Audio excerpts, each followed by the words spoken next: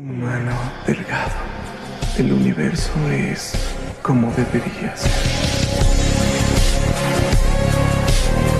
Esta nostálgica historia comienza con el astronauta y comandante Jakub Prohaska recorriendo los bosques de la Tierra, pero enseguida vemos que se trata de un sueño pues acaba de ser despertado por la voz de la nave. Ya con todos sus sentidos en alerta, Jakub adopta su posición y procede a entablar comunicaciones con Peter, su compañero a la distancia y miembro de la base del programa Euroespacial. En dicho lugar, ese día los miembros se reúnen por la comisionada Tuma, quien luego de explicar que han pasado 189 días después de que Jakub partió en un viaje solitario, vemos que está establece comunicaciones con el astronauta. Luego de los saludos protocolares, Jakub procede a explicarles que su misión es llegar hasta la nube Chopra de polvo estelar, que se descubrió hace cuatro años, y que si todo marcha bien, está a una semana de hacer contacto para recolectar una muestra y con suerte desentrañar los misterios del universo. Dicho esto, Jakub acepta contestar las preguntas de algunos civiles, entre ellos una niña llamada Ana. Le menciona que leyó un artículo que Jakub es el hombre más solitario del mundo y ahora quiere saber si no le causa tristeza estar tan lejos de la Tierra. Jacob le responde dándole la razón sobre su soledad y lejanía, pero alega que sabe que pronto regresará, pues está a mitad del camino para su regreso pactado. Además tiene mucho trabajo y la oportunidad de hablar con personas como ella. Tuma interviene para mencionar que también habla con su esposa Lenka. Sin mucho ánimo, Jacob le da la razón y explica que habla con ella a través de una tecnología de comunicaciones más rápida que la velocidad de la luz. Pero en realidad,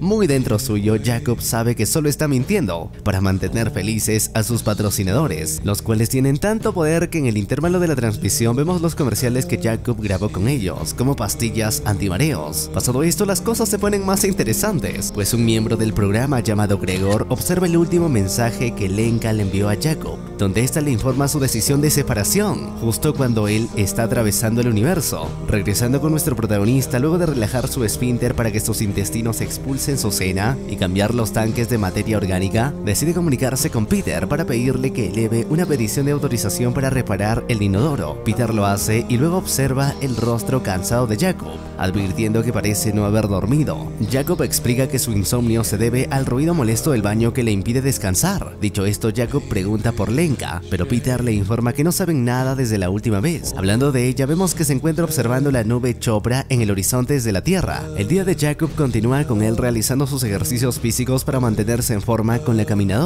y evitar enfermedades con un baño en seco. En el centro de operaciones Gregor le lleva el último mensaje de Lenka a Tuma, quien al enterarse que Jacob no logra dormir por la presión, decide prohibir que vea el mensaje de su esposa, quien lo ha dejado. Peter le advierte que Jacob está preocupado por la ausencia de su mujer, pero Tuma mantiene su decisión prometiéndole que hablará con ella. De esta forma, poco después, vemos que Jacob intenta hablar con Lenka quien lleva a su hija en su vientre, pero ella decide no contestar. Al terminar el día y lleno de aflicciones, como no logra concebir el sueño, Jacob ingiere un remedio que lo obligue a dormir. Sin embargo, pronto el sistema descompuesto de cápsulas conectadas al inodoro lo despiertan, y cuando llega al espejo del baño al verse en él, Jacob descubre que posee una araña dentro de su piel, la cual recorre su rostro hasta emerger por la cavidad de su boca. No obstante, se trata de una pesadilla, que esta vez lo obliga a despertar de verdad. Después de ejercitarse, comienza a practicar con la simulación de recolección de muestras, pero al hacerlo descubre que la mitad de las cámaras de la nave no funcionan, Peter promete reportarlo pues no comprende el origen de los problemas. Jacob cambia de tema y pide que alguien visite su casa para darle noticias sobre Lenka. Momentos después cuando Jacob intenta comunicarse con ella, la señal se corta pues algo interfiere en la llamada. Enseguida, una voz masculina lo saluda preguntando si puede ayudarlo. Jacob exige saber quién es y ante esto la voz se disculpa y deja de hablar.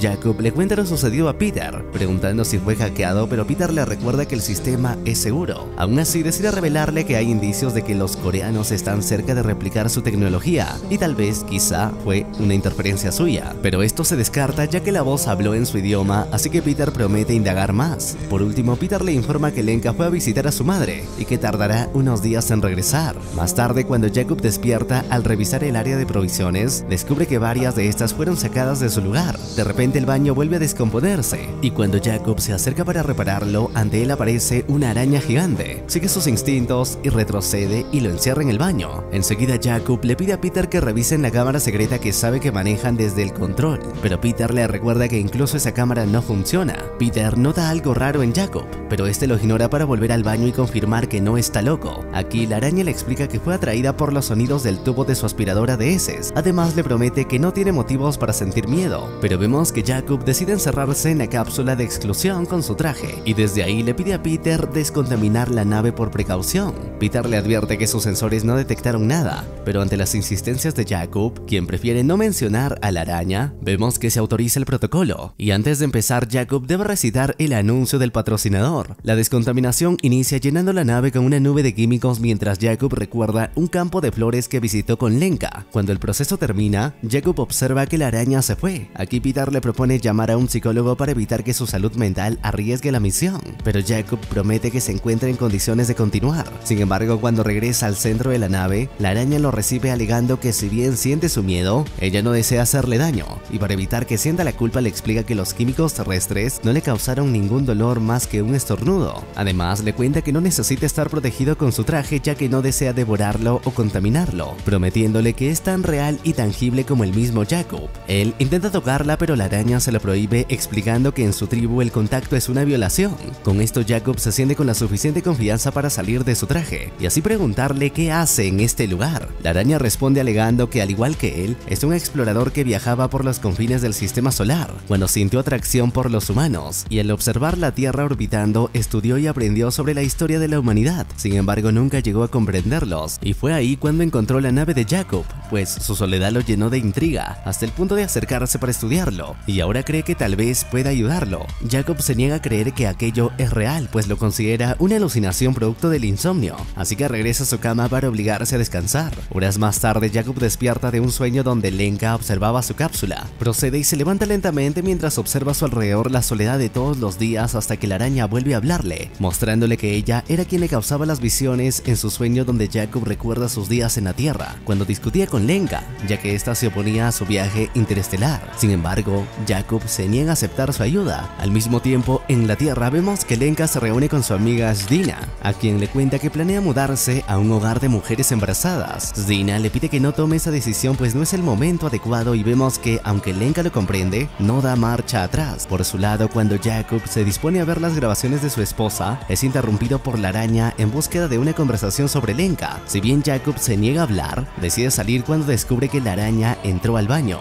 Aquí la araña se muestra interesada en un envase con su fotografía, pues cree que Jacob es un ser honrado en su tribu. Jacob no responde así que la araña le dice que al parecer la causa de su soledad son sus límites impuestos. Luego la araña se une a él en el área de provisiones intrigado por los huevos que para él representan fetos con cáscaras, pero Jacob le revela que no hay huevos en la nave por su caducidad rápida, entonces hace que pruebe el chocolate. La araña los compara con las larvas de su tierra las cuales ya no existen, pues su tribu fue aniquilada por una raza llamada Grumpets, y fue por ello que decidió escapar por el universo a través del tiempo buscando soledad, pero luego encontraría a Jacob. En ese momento Peter llama a nuestro protagonista para informarle que los ingenieros están trabajando para arreglar el problema en sus comunicaciones con Lenka. Jacob le agradece y luego sigue a la araña hasta la ventana donde observa que la araña también se siente atraída por la nube. Aquí la araña le revela que cuando era joven pudo atrapar los granos de la nube con su lengua y que dichas partículas son tan viejas que probablemente provengan del principio del universo. Jacob le pregunta cuántos años tiene o si su especie es inmortal,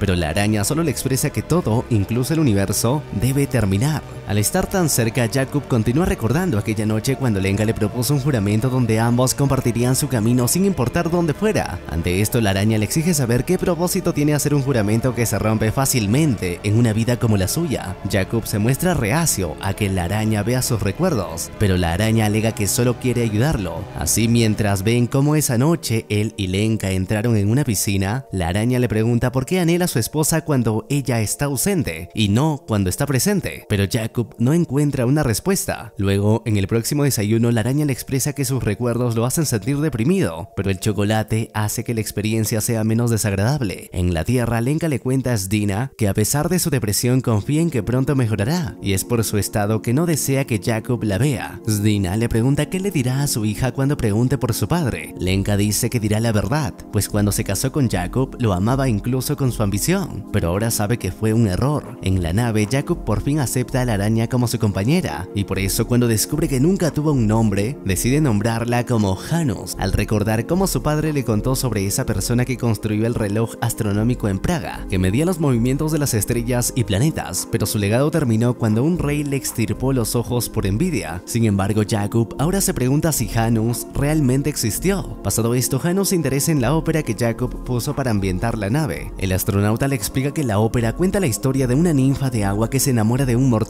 pero no pueden estar juntos. Janus comprende que Jacob proyecta su propia historia en la canción, y acto seguido continúa recordando, cuando luego de una fiesta de disfraces, él le contó que decidió ser un cosmonauta, luego de la muerte de su padre. Luego de contar que su padre también murió, Lenka lo lleva a una sala oculta para estar a solas. Janus desea saber a dónde se fue todo ese amor, pero Jacob le pide que deje de torturarlo con los recuerdos. Más tarde, Jacob vuelve a despertar producto de una pesadilla, esta vez por un cerdo en la nave, pero una despierto procede a recordar cómo, en su infancia, vivió aquellos días donde el mundo ya no confiaba en el régimen comunista, y fue ese día que su padre sacrificó un cerdo en su presencia y vio cómo el animal se desangraba. Ya fuera de la cama ingresa en el baño para exigirle a Janus que deje de encender el inodoro, descubriendo así que la araña suele dormir abrazado al tubo de succión. Janus le explica que la vibración del tubo le parece relajante y que al principio entró en sus pensamientos pero se sintió incómodo, pues la humanidad siempre siente culpa a diferencia de su especie pues consideran que el universo es como debe ser.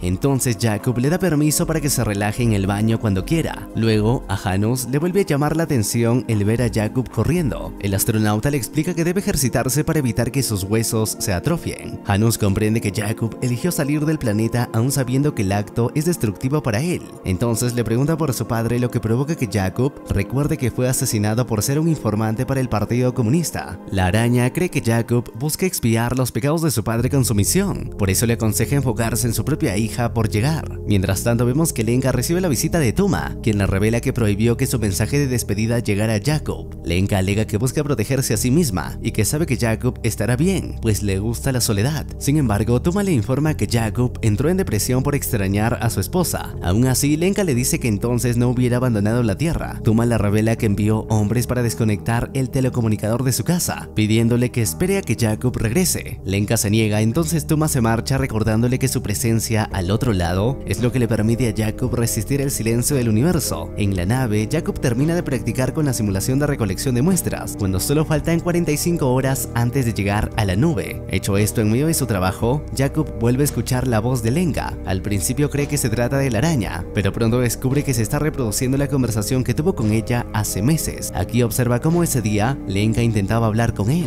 pero Jacob se negaba a abrirle su corazón. Entonces Lenka dice querer comprender qué es lo que realmente quiere su esposo, pues siempre está en la dicotomía de querer volver con ella, pero luego siempre jura que anhela conocer el fin del universo. La conversación termina con la voz de Jacob del pasado, prácticamente mandando al diablo a Lenka por cuestionar sus sueños. Aquí, al intentar apagar el reproductor, Jacob observa que un grano de la nube se infiltró en la nave, así que enseguida se mueve para encapsularlo, pero al hacerlo descubre que el grano es intangible, pues atraviesa toda la materia que tenga por delante. Sin opciones, Jacob decide aspirar el grano con el tubo del inodoro, lo cual parece funcionar. Sin embargo, al buscar entre sus desechos, descubre que el grano se fue, al igual que todas las comunicaciones con la Tierra. En medio de esto, Jacob observa que más partículas acaban de entrar en su nave para seguir su camino hacia la nube. Al ver que están demasiado cerca, Jacob le pregunta a Janos qué le sucederá cuando lleguen y la araña le promete que no tiene motivos para temer, pues la nube o el principio es solo un repositorio que no puede describir con las palabras de la humanidad.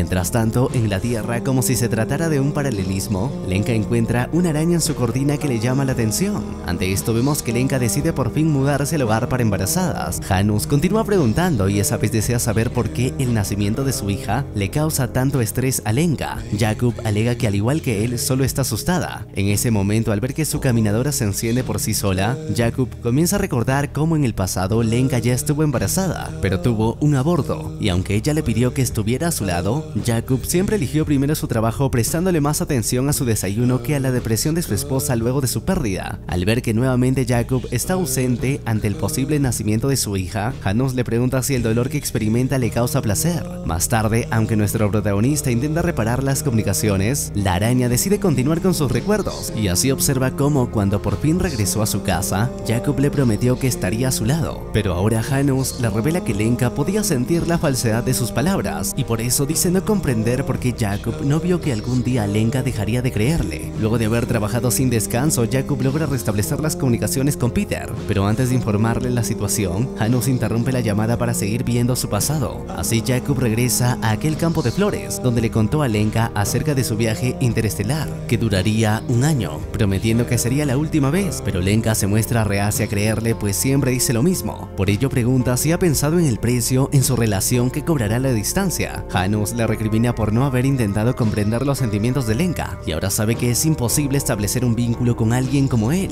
que solo busca verse a sí mismo y que solo se quiere conectar cuando le conviene. Si bien en un principio pensó que la humanidad entera era igual a él, ahora gracias a Lenka comprende que la soledad de Jacob es autoprovocada y por ello Hanus decide abandonarlo pues Jacob ya no es de su interés. Al escuchar esto Jacob le pide que se quede e intenta tocarlo lo que provoca que Hanus lo someta con sus patas mientras le expresa que no tiene salvación y recordándole que no puede tocarlo para así luego marcharse. Jacob intenta alcanzarlo pero solo encuentra su antigua soledad y el silencio del universo. Más tarde mientras Jacob divaga en la gravedad cero, este decide recordar por su cuenta aquella noche de disfraces, donde besó apasionadamente a su esposa y derrama sus lágrimas al volver a reproducir las grabaciones. Cuando se recompone y vuelve a comunicarse con Peter para informar que todo sigue según los planes a pesar de la interrupción de las comunicaciones, antes de hacer cualquier otro reporte, Jacob le ordena a Peter ir a su casa para ver a Lenka. Sin opciones, Peter obedece y así vemos que se presenta en aquel lugar. Y como sabe que las visitas no son normales al tenerle enfrente, lo primero que hace es decirle que Jacob está vivo. Entonces Peter le explica que no desea intervenir en su relación, pero por seguridad de la misión debe informarle que Jacob solo quiere que ella lo escuche, y para ello le entrega un teléfono satelital. Así, una vez a solas, Jacob procede a decirle que ahora entiende todo, y que no puede imaginar nada peor que aquel día cuando le dijo que deseaba ver más allá de Júpiter, pues solo quiere en este momento regresar a su hogar, que ahora no puede entender por qué siempre la dejaba sola, cuando lo único que realmente le importaba siempre fue ella. Como ahora comprende que ella se esforzó por conocerlo a él, le pide perdón por no haber hecho lo mismo, ya que aunque estaba frente a él, nunca pudo verla de verdad, y ahora sabe que jamás mereció tenerla a su lado, y que si pudiera regresar al pasado, solo viviría a su lado y nunca rompería esa promesa. Dicho esto, vemos que Jacob se siente liberado, y momentos después, mientras su nave se adentra en los extremos de la nube, continúa recordando su juventud, pero en sus recuerdos descubre que Janus sigue observándolo. La araña le menciona que pudo ver cómo Jacob exculpó sus pecados y por eso le aconseja descansar. Así vemos que al despertar Jacob vuelve a ver a Janus, y si bien el astronauta le pide que no vuelva a abandonarlo, Janus le revela que no puede dejar que experimente el principio de todo en soledad, y que ha descubierto que incluso un ser como él no desea estar solo. En medio de esto, Jacob nota que Janus se ve afligido pues al acercarse la araña le revela que antes de abandonar su mundo, también fue infectado por los Grumpets. Al ver que Jacob le teme a la verdad como todo ser humano, Janus dice comprender por qué los sueños y las pesadillas son esenciales. Nuestro protagonista la recrimina por nunca haberle contado sobre su situación, pero la araña le recuerda que nunca le preguntó. Así, Jacob logra convencer a Janus de permitir que se abracen. Mientras tanto, Lenka conoce a otra mujer del hogar. Esta le habla sobre la nube preguntándole si imagina estar en el espacio sin gravedad y asegurando que prefiere estar en la Tierra antes que perseguir polvo espacial.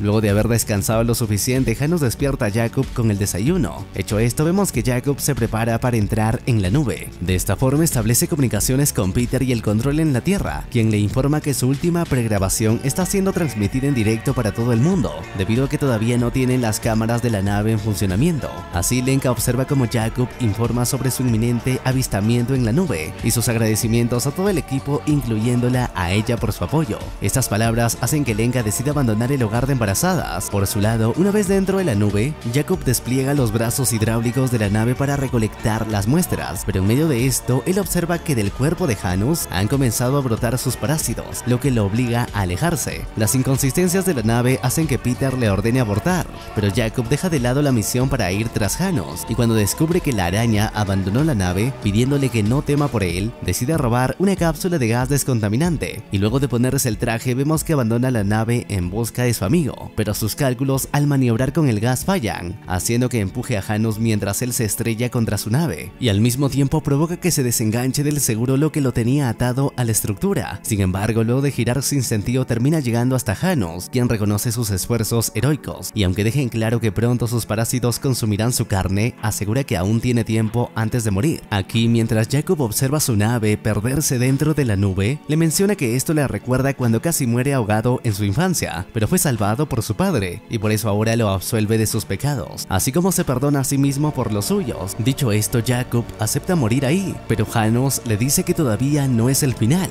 pues procede a arrastrarlo hacia el centro de la nube donde Jacob encuentra la confluencia y convergencia del todo, del principio y del fin, pues Janos le explica que en ese lugar se encuentran todas las vibraciones de todos los tiempos al mismo tiempo, su pasado, su futuro, él, Janus, Lenga, su padre, sus promesas y sus expiaciones, pues todo ahí es permanente y a la vez efímero, pues esa es la verdad del universo. Al adentrarse más, el cuerpo de Jacob comienza a ser aspirado en un punto para ser expulsado en otro donde reina la paz. Jacob decide mostrarle el día en que conoció a Lenga y le dice que desde ese momento supo que quería vivir cosas buenas con ella y ahora sabe que si tan solo la hubiera visto de esa manera en todo momento a su lado, todo sería diferente. Dicho esto, Jacob comprende que ha llegado el momento de despedirse e incluso Janos acepta que tiene miedo de morir, pero se marcha en paz sabiendo que su amigo ya no sufre. Como despedida, Jacob le entrega el chocolate y sus provisiones. Mientras lo consume, al ver la luz que se aproxima, Janos menciona que tal vez ese no sea el final de Jacob,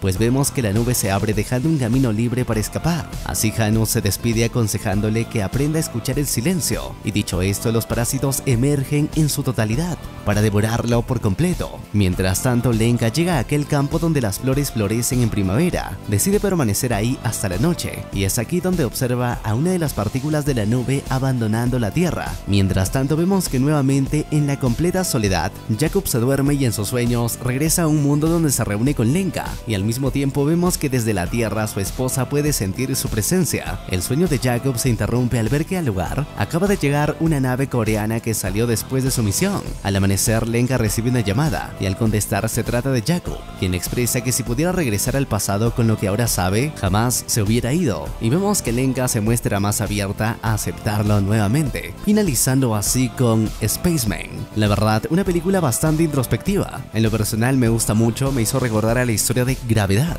una historia que hice hace tiempo en el canal, pero la puedo hacer remasterizada con otro tinte. Si te gustó, asegúrate de estar suscrito para que no te pierdas de nada.